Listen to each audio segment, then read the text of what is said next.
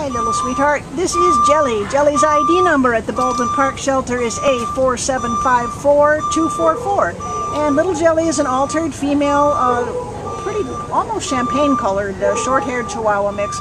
Uh, she's about a year old, and she was previously adopted on September 22nd and then returned to the shelter with no reason given. So this poor little thing has been oh, passed around from pillar to post. she likes flies. She doesn't pay attention to those flies. Oh, yeah. But she's she's got a sweet personality. It's just that she's very, very, very timid here. Uh, didn't even want to come out of the kennel. She is just so scared. And you can't blame her. She's been put in there, taken out, put in, so she must be very, very confused. But look, if this is the kind of little guy, little girl you want, she's she's only 10 pounds and she's really pretty. She's got a pretty face and a beautiful color, and she can be. she's going to get that fly no matter what.